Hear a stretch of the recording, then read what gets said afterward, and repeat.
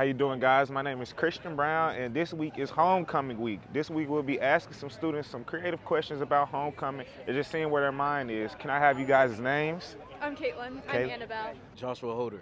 Aaron Murphy. Cooper, Sam, Dawson, Parker, and Will. I'm Liv. Liv? Aaron. Aria. Gracie. Miranda. Jackson, Cooper, Dom, Layla. Emma. Caroline. Caroline.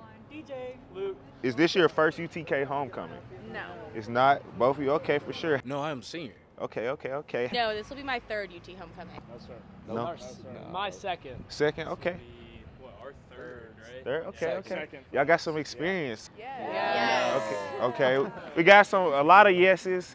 Uh, I heard a no. How have you celebrated in years past? Any events, clubs, uh, involvement, you know, things of that nature. So I usually go, we have a famous person on campus every year, and I went to Waka Flocka yesterday, actually. So I'm actually part of All Campus Events, which is the organization that puts on some of these great events like Banner Drop.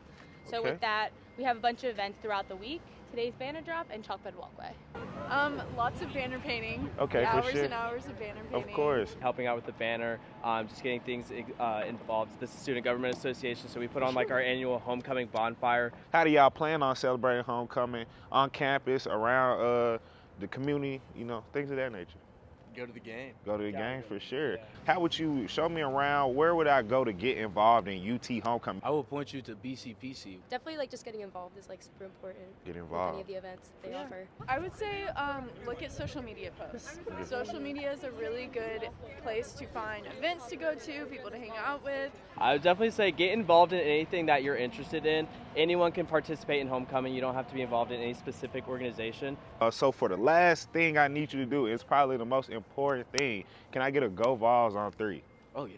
Okay, man, let's do this. All right, one, two, three. Go!